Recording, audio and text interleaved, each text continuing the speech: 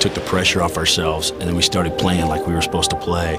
With Derek Lowe continuing his postseason resurgence, the Yankees never stood a chance. Derek Lowe has been sensational. This guy threw great curveballs. This guy threw a bunch of changeups and mixed in his sinker. The beauty of Game 7 for me is I pitched because watching is so much more nerve-wracking, and especially what happened last year. We knew we had to score early and then keep on scoring. Johnny Damon, six RBIs tonight, and it's an 8 to 1 Red Sox lead and uh, we had a convincing lead, but I wasn't going to smile until after that game. The Red Sox are just three outs away from going to the World Series. The rest was history. Now one out away. Swinging a ground ball to second base. Pokey Reese has it. He throws to first, and the Red Sox have won the American League pennant. The Red Sox have done it. They've pulled off the first team ever to win a series, went down three games to none. Move over, babe. The Red Sox are American League champions. The most stunning comeback in baseball history. What happens when 25 guys who care about each other, who are talented, what they do in the face of adversity? We shocked the world. We shocked the world today. They rallied together for one another. Probably the sweetest moment, you know, we could possibly have. Just standing on that field, because I remember last year seeing Jeter and these guys go crazy out on the field. It was so nice for us to be celebrating. So, you know, we finally did it.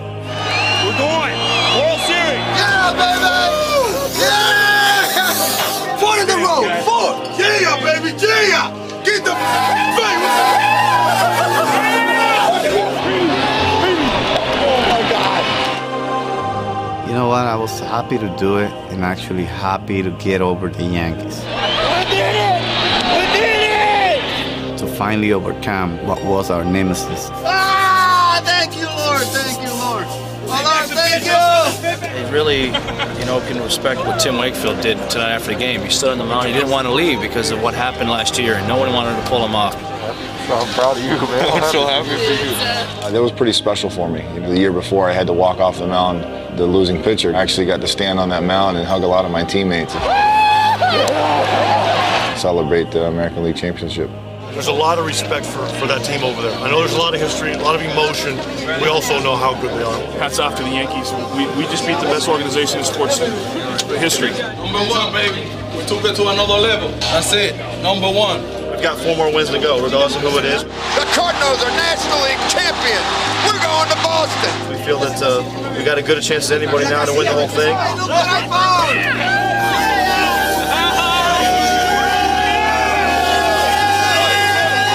Just look at this place. I mean, you know, the whole Babe Ruth, the whole curse. I mean, after a while, you start to believe in it Does this end the curse, or do you have one more step to go? Of course, we got four more wins, and then we'll talk about the curse. But you know what? Right now, there's no curse. We're going to the World Series. Hey, Dio! Look at this! American League champions! Oh my goodness! When you look back on it, yeah, it was inevitable. We were supposed to play them. I'm not sure it was supposed to turn out the way it did, but um, it was one of the greatest seven-day periods game-wise I've ever been involved in.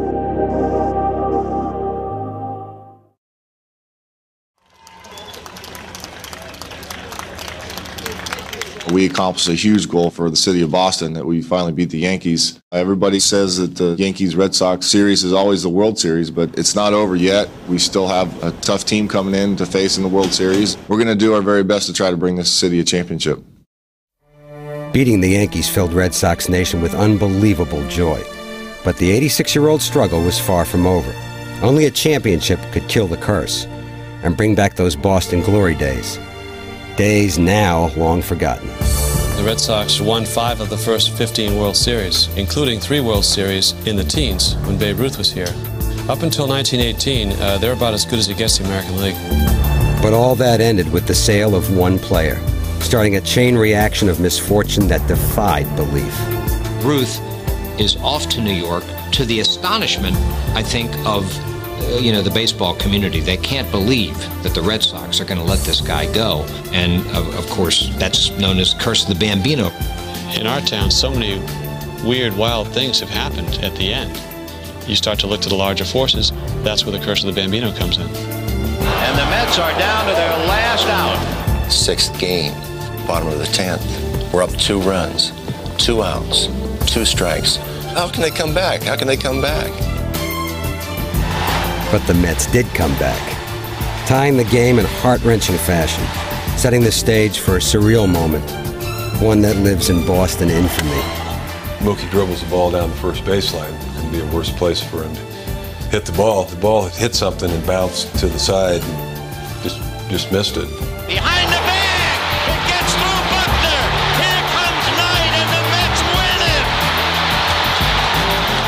Was one of those where you just sit there and shake your head and go, well, what happened? It's something Red Sox fans have asked for generations, even in the wake of their greatest moments.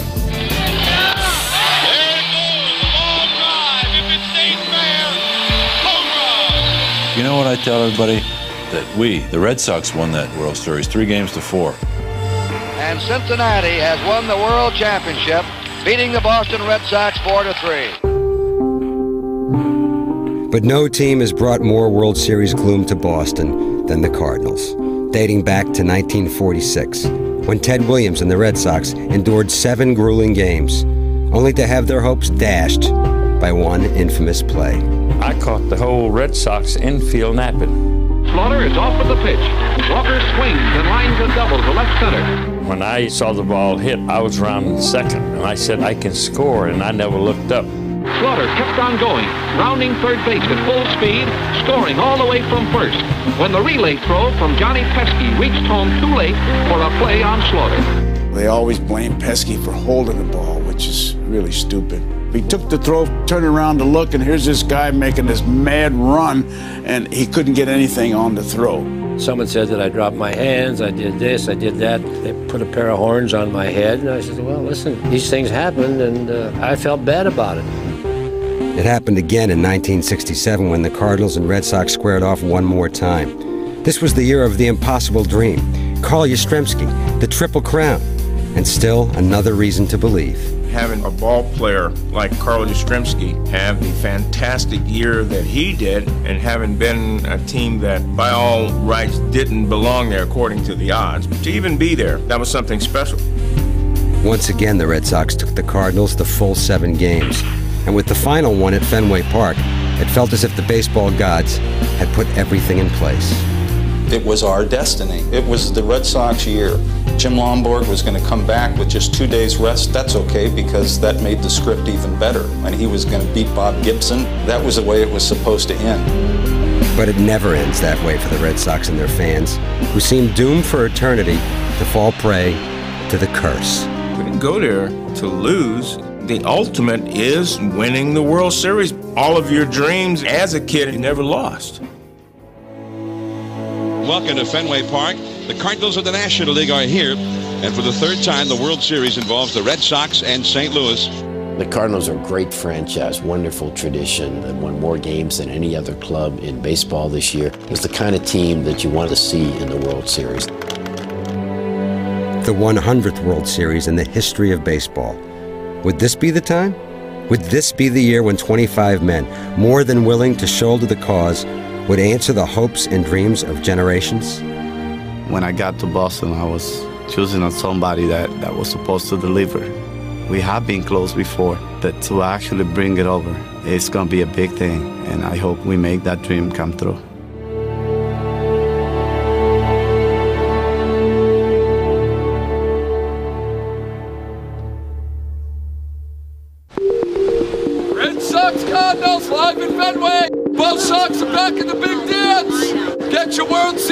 Series scorecard and lineup. We are live here in Fenway Park, the 2004 World Series. It's jam-packed. Game one. What a yeah. What a yeah. What's up, man? What's up. Have some fun. Okay, we'll do. We'll do. Greatest time of your life. You know what? Win it. Win it. Win it. Dude, dude, you need to stop. All right. Good to see you, Bobby. All right, man. It's a cold night here in October. But the fans in Boston could care less. For the first time since 1986, they get a chance to see their beloved Red Sox in a World Series. Two teams that are set to do battle. We expect to see a lot of offense, and we'll wait and see which bullpen can nail down wins. Woody Williams and Tim Wakefield on the hill tonight. The Red Sox were opening the series with a seasoned playoff performer in Tim Wakefield, the first knuckleball pitcher to start a World Series game since 1948. It was a huge honor for me to throw my spikes on and feel the electricity in the ballpark, and I just took a lot of pride in, in being able to be game one starter. He delivers a swing and a miss. He struck him out. A good start for Wakefield tonight. He smokes this one into the right field corner. It is fair. But the double by Larry Walker proved to be the Cardinals' only hit off Wakefield in the first. Against St. Louis starter Woody Williams, the Red Sox bats made a bit more noise as Johnny Damon picked up where he left off. One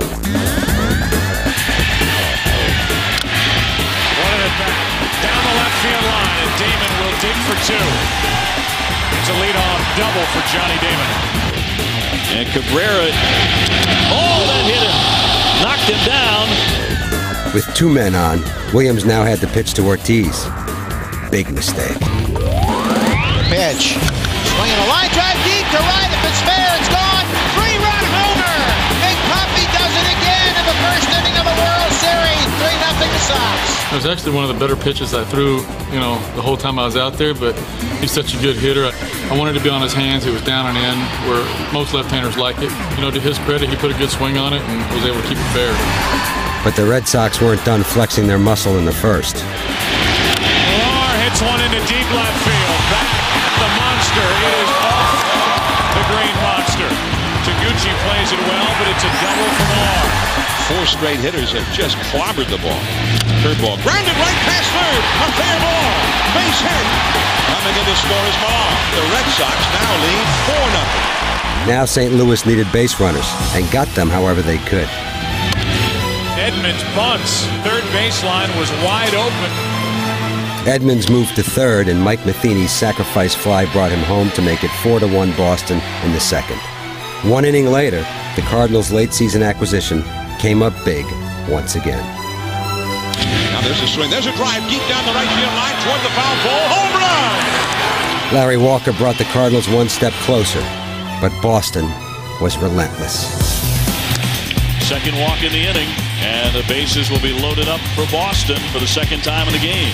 One pitch. Swing and line drive base hit into right field. Here comes Millar. He scores. Johnny Damon an RBI single. The Red Sox eighth hit of the game, and they lead it five to two.